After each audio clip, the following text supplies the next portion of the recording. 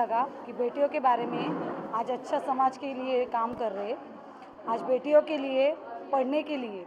आजकल के लोग पढ़ने नहीं देते बच्चे लोग को। तो इससे संस्कार मिलते बच्चे लोग को।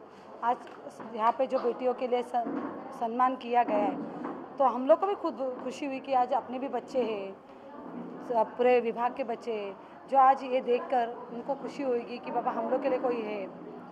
और ये चैरिटी ट्रस्ट जो बच्चे लोग के लिए काम कर रही है, उनका मैं शुक्रिया मानती हूँ कि ऐसा कोई तो भी सब जगह देखा जाता है, महिला मंडल है फिर बचत गट है, लेकिन बच्चों के लिए काम करने वाली संगठन बहुत कम है। तो ये बेटी बचाओ संगठन, इसमें आके मुझे बहुत खुशी हुई कि उन्होंने मुझे इन्वाइट किया।